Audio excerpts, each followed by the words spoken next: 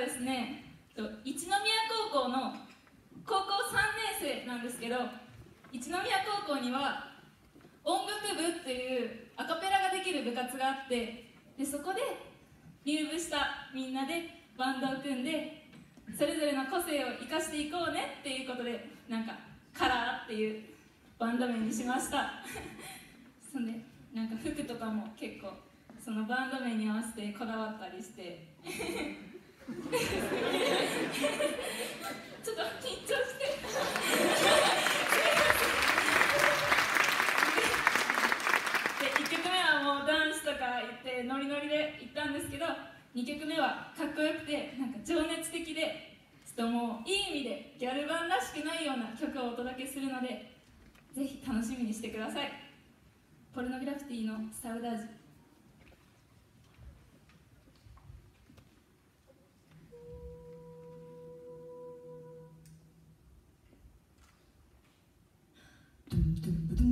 do do do do do do do do do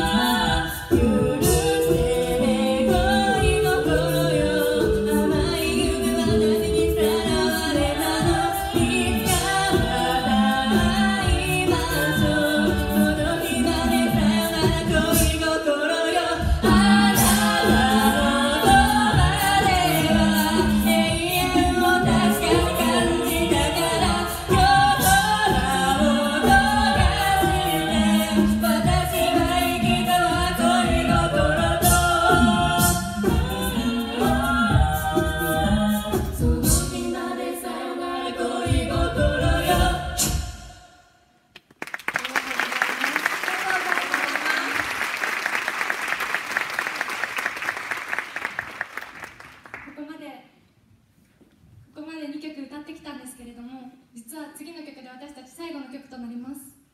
この最後の曲っていうのはもちろんこの舞台で私たちが歌う最後の曲っていう意味もあるんですけど私たちがカラーとしてこうして舞台に立って歌う最後の曲という意味でもあります。高校入学してから2年間とちょっとこのメンバーと一緒にずっと一緒に歌ってきて引退っていう受験も控えて引退ってことはすごい寂しいなって思うんですけどでも最後の舞台でこんな素敵な舞台でこんな風に歌うことができるなんて本当に幸せだなって2年間カペでやってきてよかったなって心から本当にそう思ってます。ありがとうございます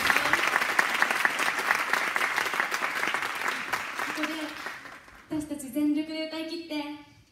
受験勉強頑張ってきます。頑張ります。